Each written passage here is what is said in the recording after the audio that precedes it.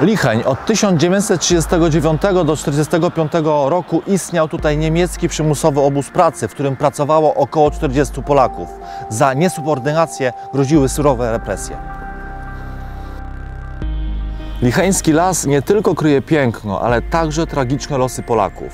W kwietniu 1942 roku hitlerowcy na oczach mieszkańców Lichenia dokonali bestialskiej egzekucji.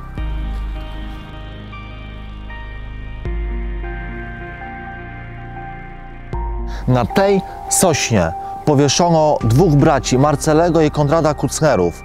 Powód była to kara za odmowę podpisania folklisty przez ich ojca. Miejsce to przez mieszkańców Lichenia zostało upamiętnione. Idąc w kierunku do Biegniewa, miejscowy las przypomina nam kolejną trudną historię. W tym miejscu znajdował się wojskowy lazaret, do którego przywożono żołnierzy z obozu Oflag 2C Woldenberg. Po byłym szpitalu polowym pozostały już tylko fundamenty oraz takie przedmioty użytku codziennego. Zmarłych polskich żołnierzy chowano na pobliskiej nekropolii. W latach 70. ich ciała przeniesiono na cmentarz w Gorzowie.